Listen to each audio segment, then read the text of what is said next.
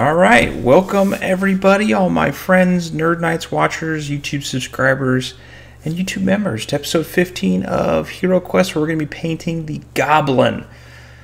So everybody's been requesting the I finish this, so that's what I'm going to do. I want to say thank you, as always, first to my YouTube members. You obviously are awesome for your donations and everything you do to support this channel. Uh, thank you so much. If you're new to this channel, or if you've been here and you watched a couple videos, hit that subscribe button. I ain't going nowhere. Get those updates. Get those, you know, uh, hey, got a new video. But without further ado, let's go.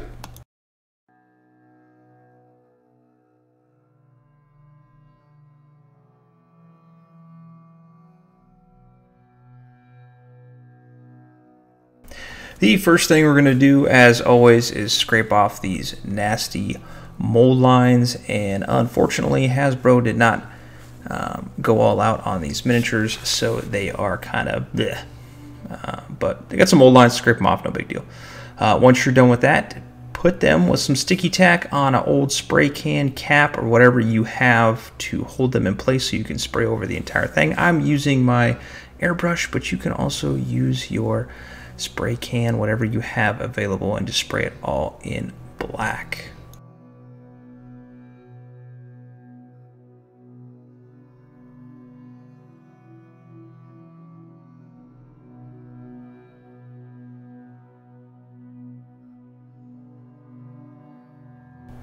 Once we're ready to tango with everything else, we're going to start with our base colors. And the first thing we're going to do is Orruk Flesh. Now, I am airbrushing this on just to save some time.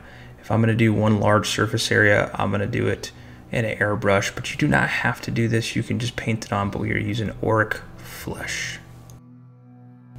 For our white eyeballs, we're going to be using some regular white, whatever kind of white you do have. It doesn't need to be anything specific. And we're going to put some little slits because we're going to do some shading here in a little bit, and it's going to just be easier to uh, fix it once we're done. And while you're at the eyeballs, go ahead and take some of that Abaddon black or whatever kind of black you do have and put some little pupils in there. Next, for all of our little metal bits and pieces, we're going to take some Leadbelcher and we're going to slap that on.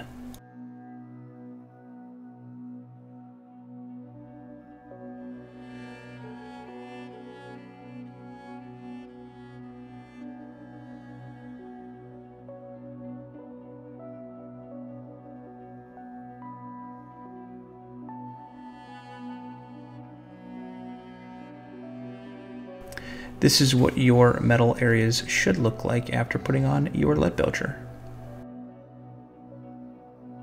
For our little goblin earrings, probably that he stole from a treasure trove, we're going to use some Retributor armor. For our little angry goblin teeth, we're going to be using some Morghast bone on those.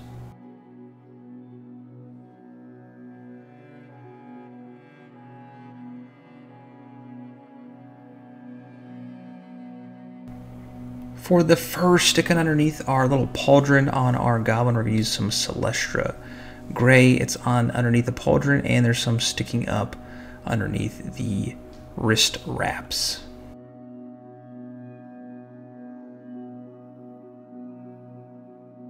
For the undergarment or chest garment, we're going to be using some Ushabti bone.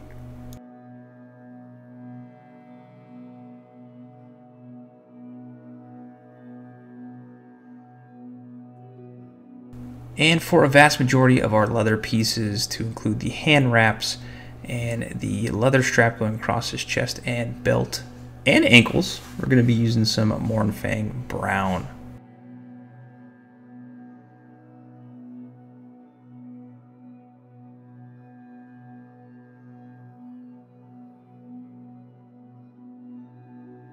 And this is what all of your leather areas should look like and cover. For our loincloth area, we're going to be using some Skavenblight Dinge on the front and the back.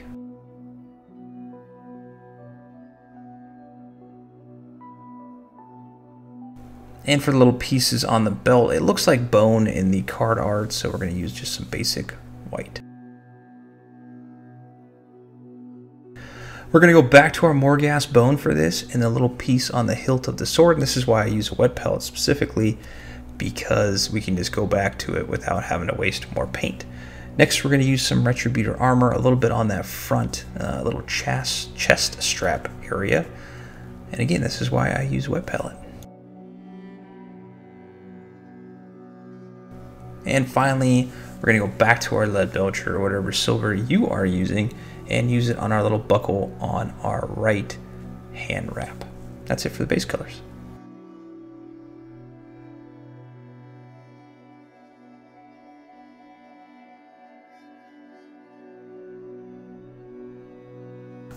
To start our shading process, we're going to go over that nice green goblin skin and we're going to use some Athonian Camoshade.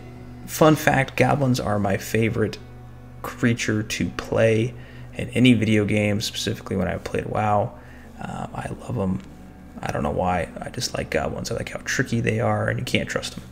Even though you can trust me, it's like to totally counterintuitive to who I am as a person, but whatever. Anyways, we're going to use some Agrax Earthshade on all of our leather pieces and every other piece that we have done so far to include the loincloth. The only thing we're not going to be using Agrax Earthshade on, we're going to use Nuln Oil here in a second on, is all of our metal pieces. Now, while you're doing all this shading and you got to let it dry for a minute, uh, head over to our Instagram, nerd.knights, and subscribe over there so you can see what we're doing, what's going on. I always post pictures of what's upcoming. And finally, all your metal pieces, go ahead and hit it with that Nuln oil.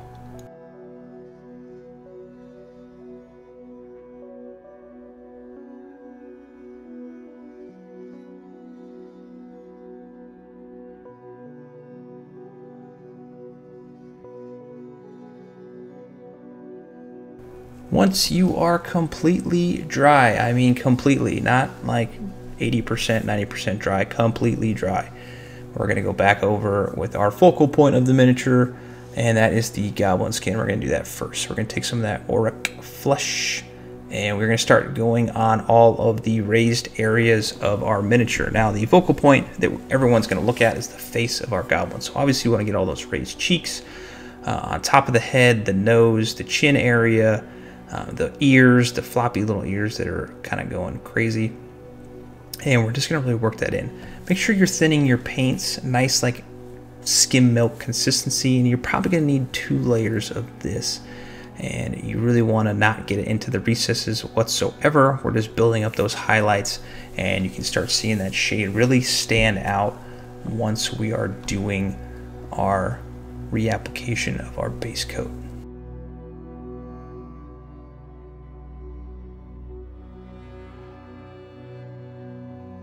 Once you're satisfied with your reapplication of Orruk flesh, we're going to take some Nurgling Green and we're going to really not use this crazy amount of Nurgling Green. We're just going to focus on the raised areas of the face to include the chin, the nose area, the cheekbones, on top of the ears, on top of the head, fingertips a little bit into the thigh area and on those back muscles just a little bit.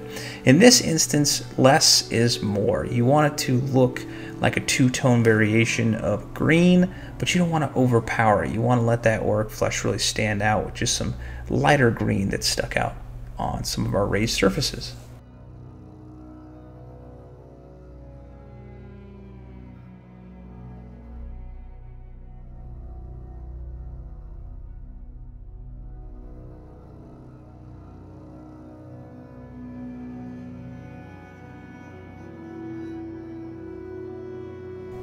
And finally, we're going to take some very thin Kislev flesh and we're just going to put this on some raised areas of our goblin flesh. Now, I went on the ears a little bit on the cheekbones and on the eyebrow area, a little bit on the hands. Nothing crazy. It's just going to give it a little sudden hint of fleshiness, as you can kind of see in the card art. So don't go overboard with this. Put this very sparingly in little places here and there, and don't I can't stress enough, do not go overboard with it. Next, we're going to use some Ironbreaker on the pauldrons and the kneecap areas and the metal that is around the legs. We are not going to use this specifically on the sword. We're going to use some Runefang Steel here in a second for that.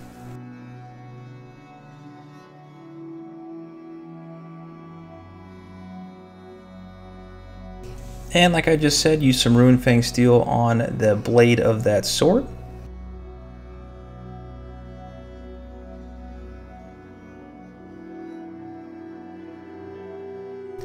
And for our metal areas, we're going to do kind of a mixture of 50-50 mixture of Doombull Brown and Rhinox Hide. And we're going to use this to reapply to the raised surfaces of our leather. Now, I know this isn't the original um, color we used, but I think this is kind of the best color that matches the card art. And it's going to give it that nice leathery, kind of older but reddish look that we see. For our bony type areas, especially the teeth and the bottom hilt of our sword and the undergarment on the chest, we're going to go with Ushabti bone. Now this is our original base color, but we're just going to just not go crazy with it and just reapply this. Uh, be careful on those teeth because those teeth are extremely small.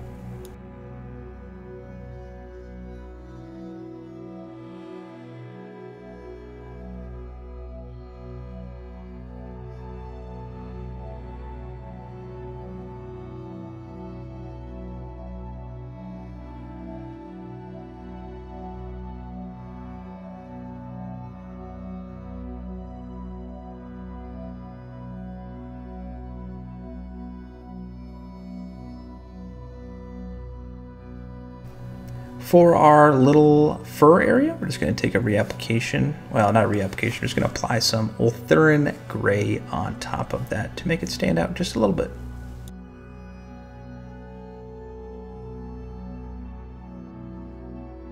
And as we're coming down the stretch, if you need to reapply some white or some black on the eyes like I am doing right here, go ahead and hit that up right now just to kind of clean up just a little bit. And finally, your favorite part, of painting this miniature because that means you're done. Abaddon Black on the base. Not doing anything crazy. If you want to use gray, whatever you want to use on your miniatures, I just specifically use black. And that's it. You did it. It looks fantastic. I know you guys did a great job because you guys always send me pictures and updates of what you're painting and how you're painting it. So I know you guys do a great job.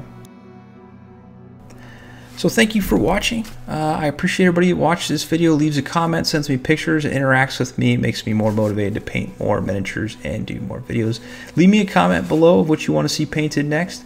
Uh, I'm still going to do all the furniture, so stay tuned. And until next time, paint on.